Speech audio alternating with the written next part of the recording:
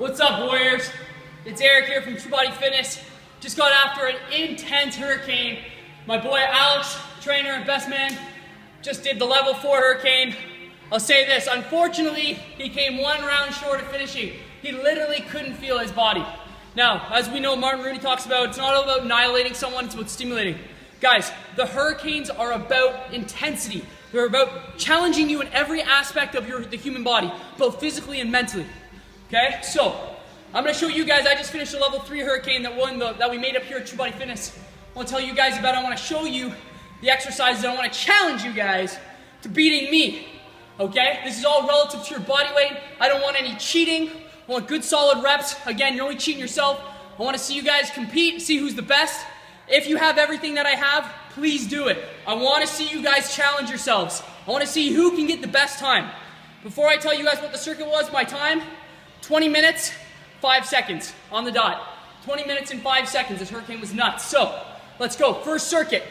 First thing we did, 25 yard suicide. 5 yard, 5 yard, back, 10 yard, back 15, back 20, back 25. Touching the line with your foot each and every time.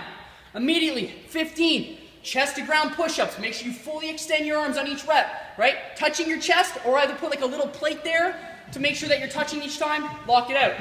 Right over the TRX rows. On the rows, I want your feet right at the bottom, right underneath, okay? Right here, no cheating. I want full extension on the arms. You gotta touch your chest. So basically if I was pulling, I'd go boom, boom, tapping my chest each and every time. Make sure you have a partner there watching. Don't cheat, make sure it's good reps. You do that three times in a row. Next, 150 yard run, every 25 increments. So from here to there, six times, 25 yards. Okay, if you don't have 25 yards, use 20. It's recommended to use 25 just so it makes things more standardized and systematic. Right after that, you're going into half your body weight shoulder press. Strict, meaning no legs. You can bring the bar below your chin, below your chin, lock it out fully at the top. No legs, no bending. To get up, strict press. Okay?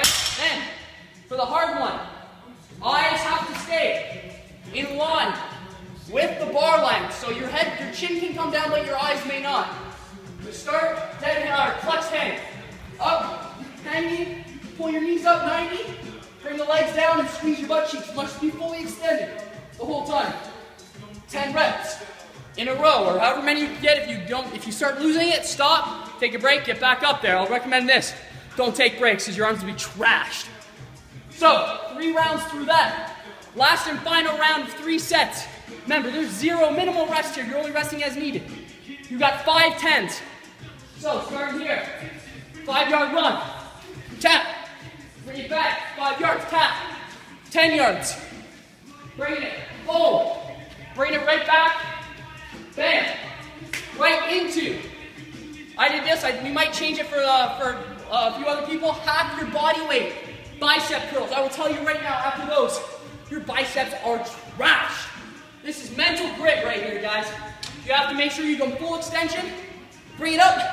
Bring the bar parallel below your elbows. I don't want to see you finishing here.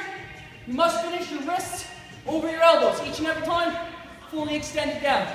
All right, right into equalizer, or if you have a dip, whatever you've got, you must break 90 degrees.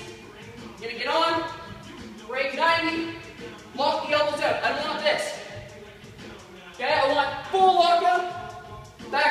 10 reps. Three rounds, total time. You guys, you know what, your TFW affiliates, get it in, burn it out, give me everything you got, show you me guys you can beat me, and who is the best here at the TFW network. Give it a try, guys.